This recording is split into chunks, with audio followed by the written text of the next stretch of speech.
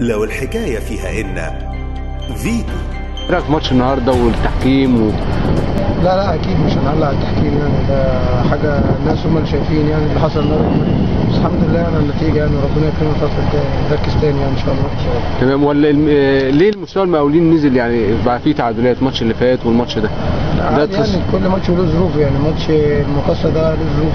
والنهارده إحنا مجهدين يعني شوية ماتشات ورا بعض وكده فإن شاء الله الفترة الجاية نكون أحسن إن شاء الله. طب تعليقك على إيه؟ إن إن أنت مرشح للدخول في قائمة منتخب مصر الفترة اللي جاية. والله إحنا النادي اللي علينا ربنا يكرم لو في نصيب يعني أكيد أي حد يتشرف بالمنتخب يعني إن شاء الله. تمام. أنت قبل ما تيجي المقاولين كنت بتلعب فين؟ الشمس والمنصوره يعني الشمس المنصورة؟ آه. ماشي.